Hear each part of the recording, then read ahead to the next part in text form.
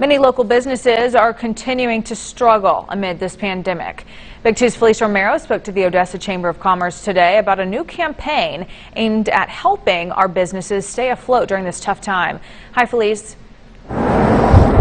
Katie, it's called Buy the Basin, and it's supposed to encourage West Texans to buy local in order to help support the economy.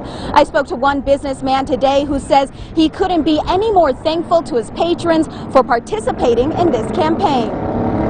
The Odessa Chamber of Commerce and the Midland Chamber of Commerce are finding ways to help local businesses amid the pandemic with the relaunch of an old campaign, Buy the Basin you know, when you buy local, um, there's a sales tax that is attached to that. So that sales tax goes to various uh, salaries. It helps with fire, police, nursing. Um, it helps with road infrastructure. It helps create new jobs. The educational campaign is geared to help people understand the impact their money can have on the local economy, especially when many local businesses have suffered financially during the shutdown. One local business owner says he can't thank his customers enough for choosing to buy local. Thank you.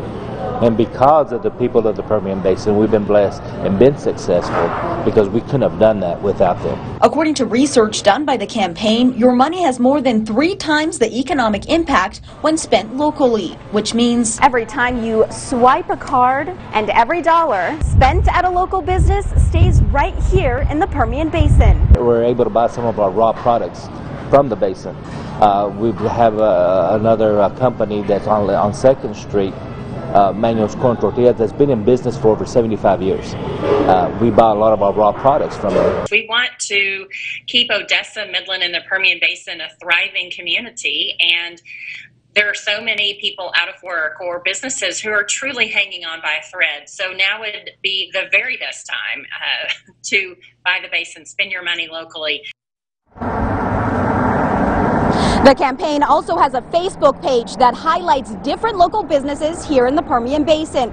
Reporting live in Odessa, Feliz Romero, Big 2 News.